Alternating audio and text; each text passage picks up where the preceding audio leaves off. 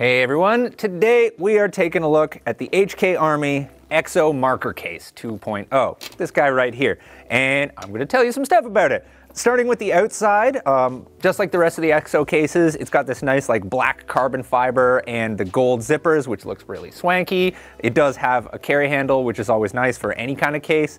And then we're gonna get to the inside, which is really, really, really nice. Um, this pocket, this is where your actual marker is gonna go. As you can see, it is completely lined in microfiber, so nothing in there is gonna scratch. And the other nice thing is on the other side, you have a similar pocket. So like you could technically fit two markers in here or like other accessories and stuff like that.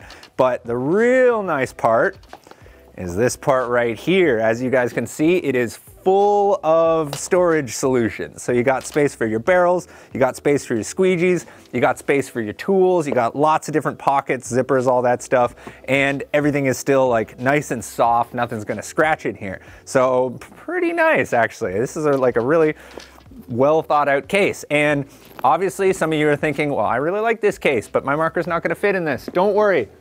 They thought of that too, because they have an XL version of the case. Um, it's almost exactly the same as this case in almost every single way, other than the fact that it is obviously bigger. But because it is bigger, it does have, there we go, more storage space. So there's a couple extra like pouches in here. You got obviously like bigger pockets and stuff like that here. So you can just fit more stuff, more like tools, lube, whatever you need to put in there. And just like the other one, it has one pocket right here for the marker and this one's all zipped up, but give me a second. And then it's got another one